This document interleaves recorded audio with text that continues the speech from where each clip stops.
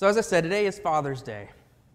And we can't go, I think, today without having a lesson, or at least I can't, that really looks at fathers, in this case, at men in general. This topic of what makes, what makes a man? It's an interesting question. If you will go ahead and open up 1 Corinthians chapter 16, we'll be there in just a second. As we look and explore this topic and question of what makes a man. Well, I'll say this. I think we can all agree that our modern media, entertainment, is a bit aggressive. When they find something they don't like or they want to, to mess with or poke at, they'll do it hard and they won't relent. And over the last 30 plus years, there's really been one group who's been singled out more than anybody else. And that's the father figure. That father figure is constantly being attacked, torn down, made to seem as a fool or he does not know what's coming up. And it's really affected our current generations. We see what we would call current father figures, our grandfathers, these men who went as young men to do a noble and honorable thing, to give themselves up for a greater good, to fight against this evil. We see that modern man, or that, that man, but now we look at this. Now, this is what's considered one of the examples of men. This comes from a meme that says, Look at the old grandfather picture, and this is a cool picture of this go forward 70 or 80 years, and hey, look, I found a picture of your grandfather. This is what the modern man is looking like someone who's no longer doing things for other people, but is kind of childish, silly, likes to do things that aren't quite so serious.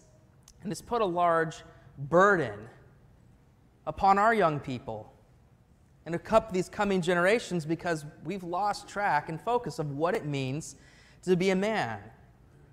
Of course, then there are those who, who go so far against this image that you see up there that they've kind of swung the pendulum the correct other way. And you get a picture like this of someone who's burly, an outdoorsman, who spends his time out in the woods doing the things that classical men do. I'm not saying that's wrong. I'm not saying what the other, the other picture is wrong, but they're both extremes. They're both extremes to counteract what society is saying men should be. But the Bible gives us a very clear description, a very clear picture of what a man of God and a man after God's own heart looks like. And it's the shepherd. He's a man who's, who's selfless, who's caring, who's kind, who's patient, who looks out for others, is an important leader, who takes care of the responsibilities he's been given. And then it gives us that even better picture as Jesus. Jesus, the loving shepherd, of what a man should really look like is Jesus. He's that happy medium of all of these things coming together. He is what a good, godly man should look like. And then Paul even goes a little bit further because humanity really likes instructions. We really do like black and white, knowing what to do and what to say. And Paul gives us some four basic principles, I think, of what a Christian man should look like. Read with me in, in 1 Corinthians chapter 16, starting in verse 13. He says, Be on the alert, stand firm in faith act like a man. Be strong. And let all you do be done in love. Four basic instructions that we're going to look at this morning of what it is to be a man. We're going to spend this time in kind of in comparison as well. We're going to look at a man, a father figure who failed at that example, and then turn back and look at Jesus and how he really emulates that characteristic. So the first is to be alert. What does it mean to be alert? Well, we think we know it's, it's a word that means to be vigilant, to be aware, to be a sentry, a guard. In fact, you see that in the, in the animal kingdom. You see on the savannah herds of animals working together to being these, this vigilant, being aware, to be sentries. Think of a meerkat. I've talked about them before. Wonderful examples of things. They pick one to stand above the rest, to spend all of his time watching, looking out for the dangers that would affect everybody else. And they know when he makes that call to run, they're going to respect that. They run, they move, they get away from the danger. They stand alert. All of them stand alert because of the examples that's given to them from their previous generations. So, what's one example here of someone who failed? Think about David. Think about David and his family and what happened there.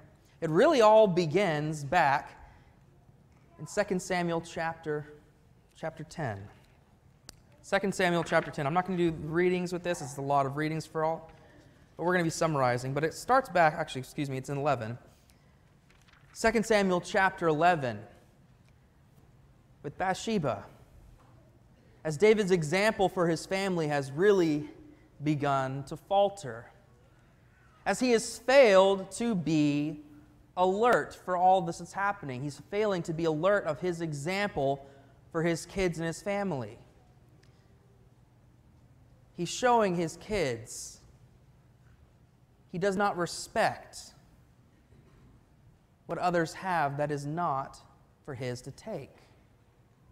And then he goes on to fail to show the example of the importance of life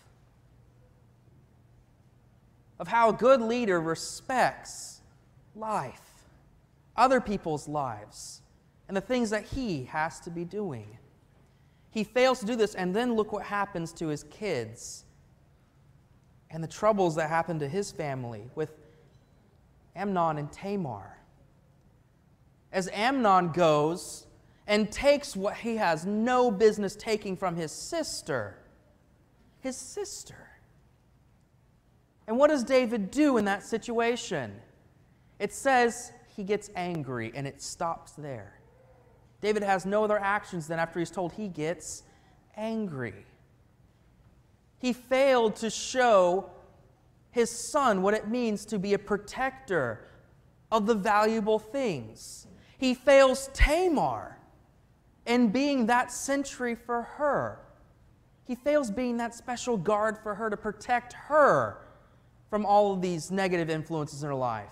And then with Absalom, as he now comes in, failing to, to respect life, decides to take revenge and the, and the consequences into his own hand, and ends up killing his brother Amnon. David did not do any service for his children in that. And then he continued to fail Absalom.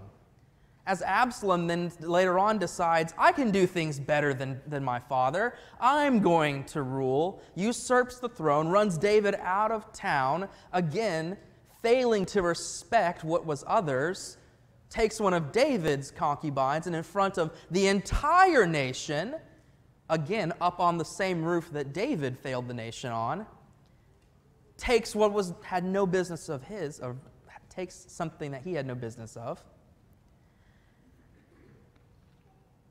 and fails again and again and again. David failed to be alert with his own family. He was a great king, a mighty king, one we're told is after God's own heart. But David, as a father, kind of misses the mark just a little bit. But Jesus, Jesus stands alert. Jesus did a couple of different things throughout his time here that makes him stand alert for us. The first is this that Jesus was always aware of his enemies' intentions. He had that ability to see their hearts, know what was on their minds, but he always was ready to give back that counter, counter defense to when they come in to attack him, to try to rip him down and tear him down. He's always ready, standing guard for himself and then he's also alert, standing ready of the people's needs. Think about the stories of him feeding the 5,000, where the apostles have come to him and said, Jesus, you've got this big crowd around you. It's getting close to dinner time. It's getting time for them to go. Send them away. We can't do anything for them. Jesus, knowing their needs, says, Don't send them to the villages. Stay here. And we'll provide. I will provide for them. Think of the parables, the stories he gives for them. They are not high level stories that the Pharisees would be the only ones understanding and gaining insight from. He tells them stories and parables, lessons from their level, from their perspective, their points of view. He is aware, he's alert of their needs and what his people that are around him are looking for. Be alert.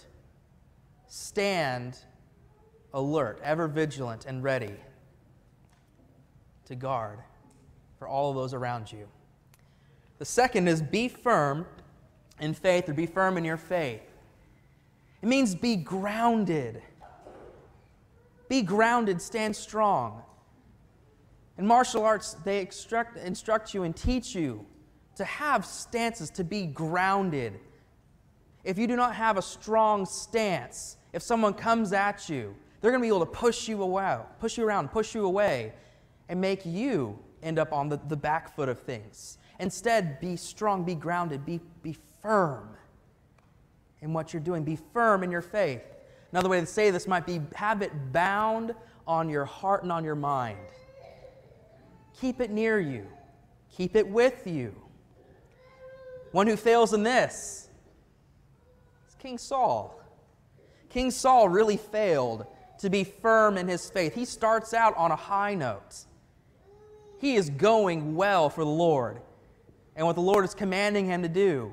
And all things go well as long as Samuel is by his side. But then Samuel doesn't show.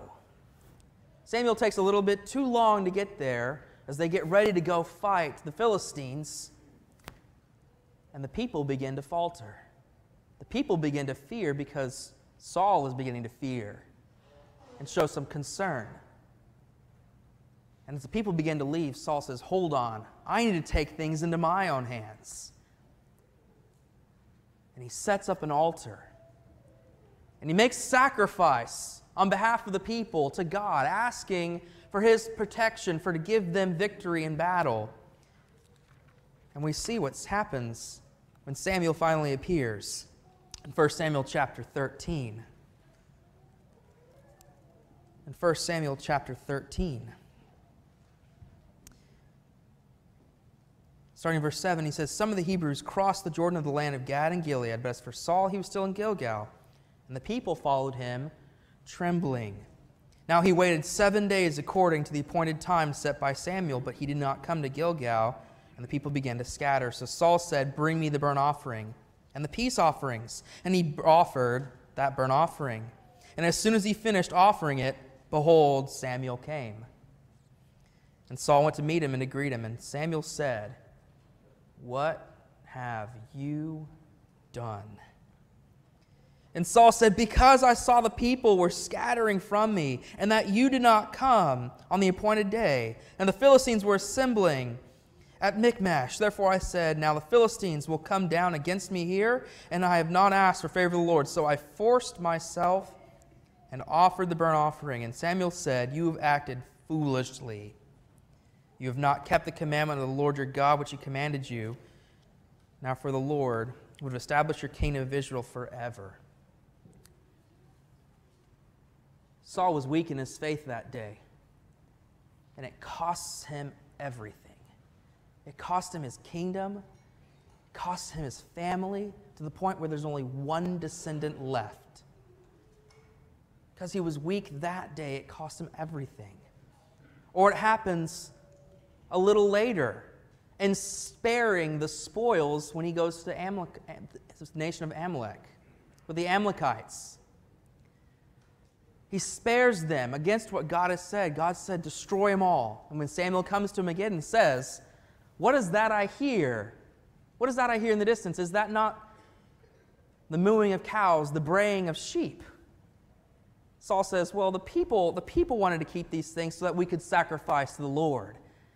Again, failing to stand firm in his faith. He falters. It costs him everything. Look at how Jesus stands firm in his faith, though. Turn over to Luke chapter 4. Luke chapter 4, we're very familiar with this story. It's the temptation of Jesus. As Jesus has now been, has been baptized, the Lord has shown and said, This is my beloved Son. He goes out into the wilderness for 40 days to be tempted and tried by Satan. For him to stand firm in his faith and knowing what was right for him. And he keeps his faith, his love for his Father, his love for the truth right there on his heart and on his mind. As every time Satan comes to him, upping the ante, upping the reward, saying, Just bow to me, give in, and this will all be yours. Getting to the point where he even offers the world, the physical world, on a silver platter for Jesus. Take all the, what's coming, the pain, the agony, take it all away. Jesus says, No. That can't happen. He says, You should not put the Lord to the test. Jesus stands firm in his faith, firm in his instructions, firm in what he knows is true and what is right. Men, if we want to stay strong and be good, godly men, we stand firm in our faith because so many watch for that example. Well, then it says, act like men. That's where we come from this. The New King James says, be brave. Be like men, what a man would be. It's brave, ready to stand in times of battle. And then he says, be strong. Be strong. Be prepared. Be built. Be tough. If you want to build strength, physical strength, when you go to the gym, what do you do? You do two specific things. One, you first lift, begin to lift a lot of heavy weights to build mass. But that's not enough.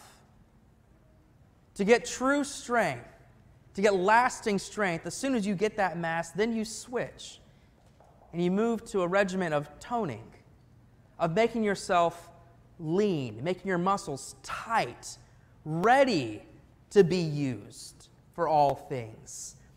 Be prepared making sure you're ready to stand firm in your faith, making sure you're ready to be alert. That's what being strong here is. Great example of someone failing to be strong is King Ahaz. King Ahaz in Isaiah chapter 7 stands surrounded on all fronts. The nation of Israel from the north, Edom from the east, Midian from the south, the Philistines from the west. Everybody's coming in and wants their piece of the Judah pie. They want that little piece of this beautiful, wonderful land that the God had set aside for his people. And he begins to fear. And instead of going to the Lord as he should have, as his grandfather Uzziah left a great example for him to stand with the Lord, instead he turns further east. And Ahaz thinks, if I am afraid and fear in this, maybe I should bring the fear to them as he reaches out to Tiglath-Pileser of Assyria. These bloody, awful, murderous marauders. This nation in our history is known as probably one of the most vilest, evil nations, calls for them to come protect. And not only does he make that call, he sends tribute to them. Not just from the nation's treasury, not just from his own pockets, he goes to the temple of the Lord. And he takes all of the gold off the walls, all of the gold utensils, all of the silver, takes it, strips it down, sends it all to Assyria, saying, Come help us. Stand with us, and we will become your vassal nation. We will become your servants. Not standing strong in the Lord, but standing strong in men. And in chapter 7, Isaiah comes to Ahaz as he's beginning to do all of this and says, Please do not do this. The Lord, through me, is saying, Trust in me, stand in me. I will protect you. I will protect this nation if you only will ask. In fact, God says, Put me to the test.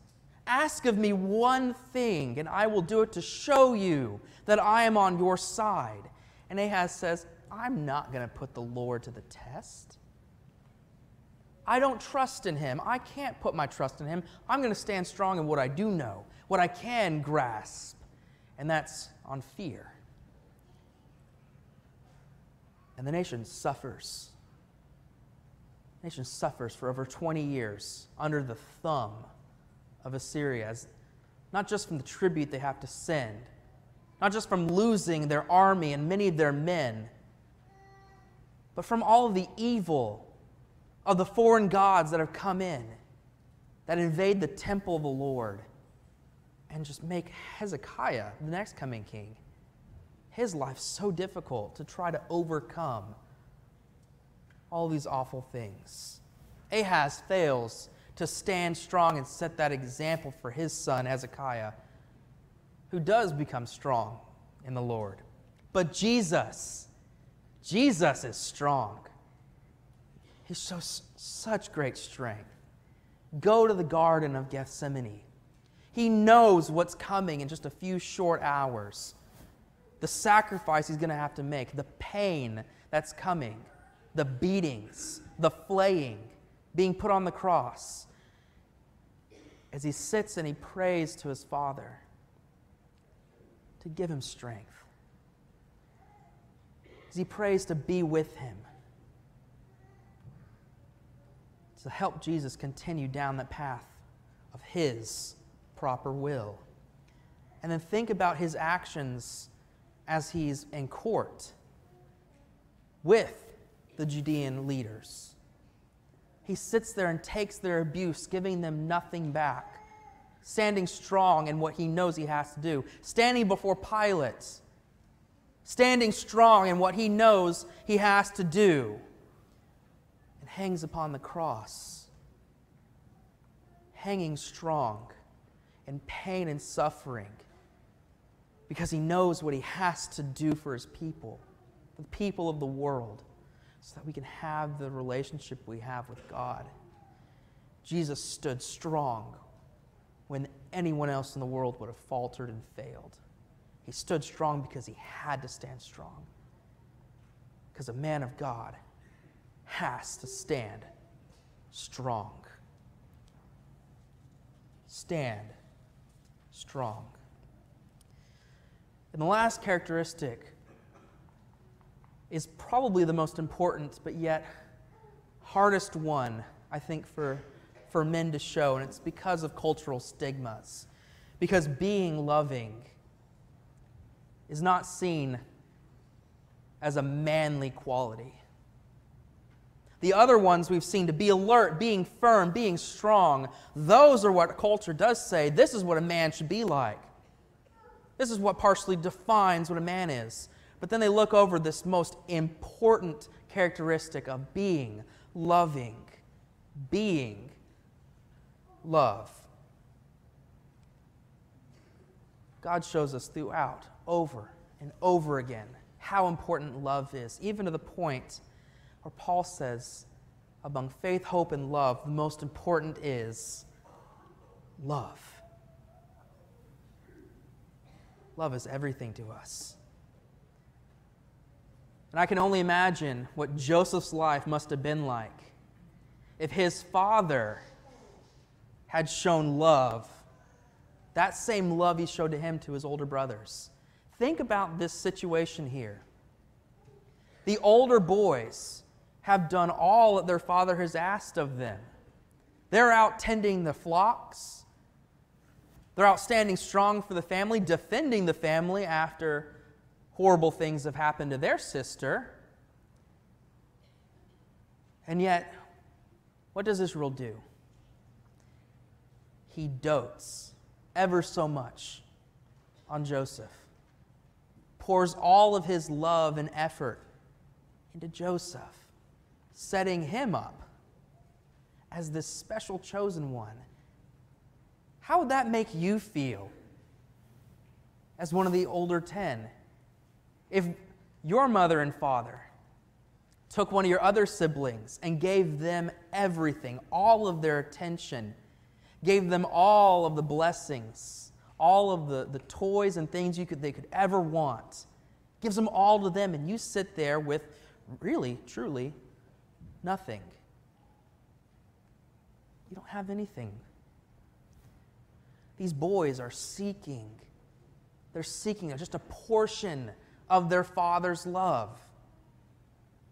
And if Israel had just shown a little bit of that same love towards them, I don't think Joseph would have spent a minute in that pit.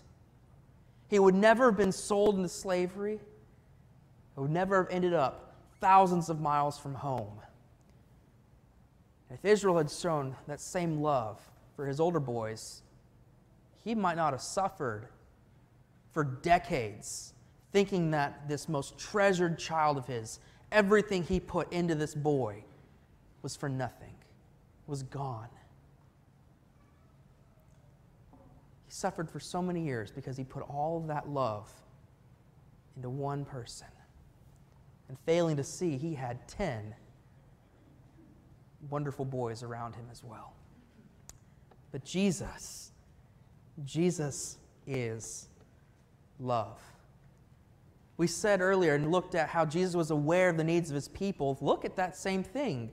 He shows pity and love and care for the people that follow after him. That is love. Even though he knows what's coming up, the people are going to stand against him, they're going to put him on a cross. He still shows such great love for them. Look at how he reacts when Lazarus dies. He weeps. Son of God, the Savior of the world, he cries and he weeps because somebody he cares about deeply is gone. Even though he knows he's about to bring him back, he is still overwhelmed with emotions because Jesus loves. shows such wonderful love.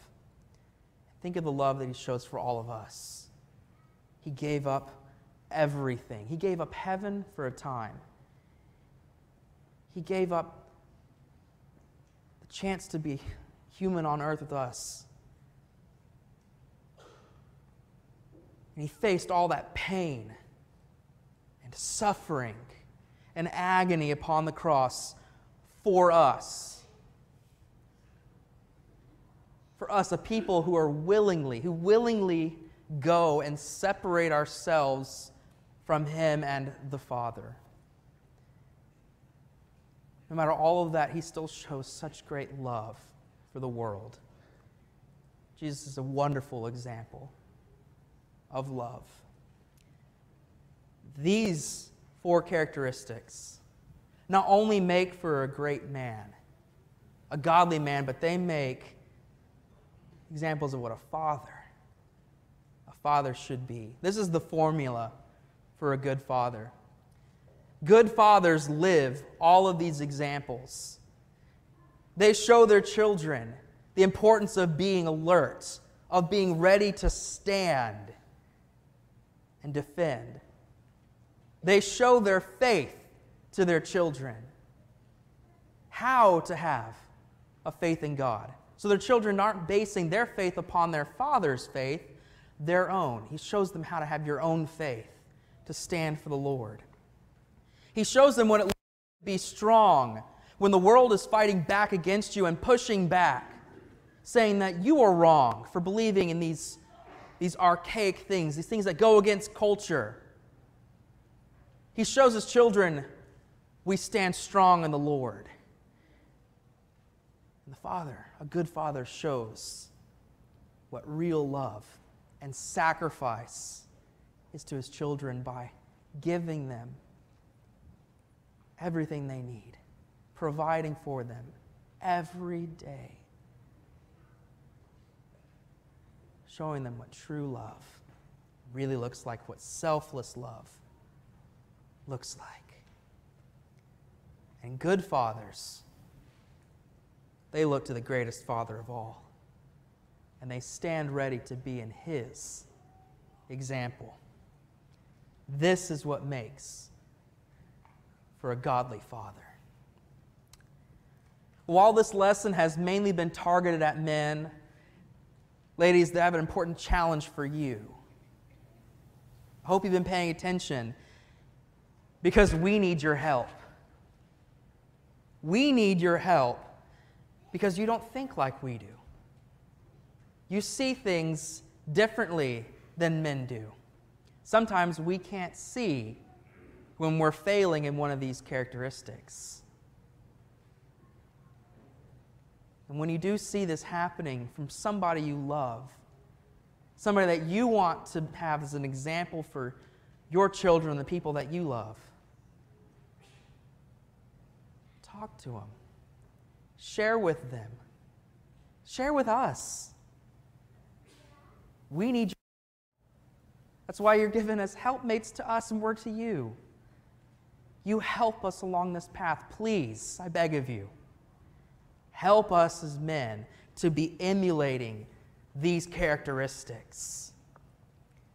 And men, it's up to us to not let our defenses get up when we need a little bit of encouragement and a little direction and guidance to help us get back on to what Paul says is the true path of manhood. We've talked about what it looks like to be a good man, to be a man after God, to be emulating the Father. And if you're ready, if you're ready to continue down that path to emulate the Father, to be in His house, to be one of His children, to stand like He does, show the love and care the Lord shows to us. We ask you, please come forward now as we stand and as we sing.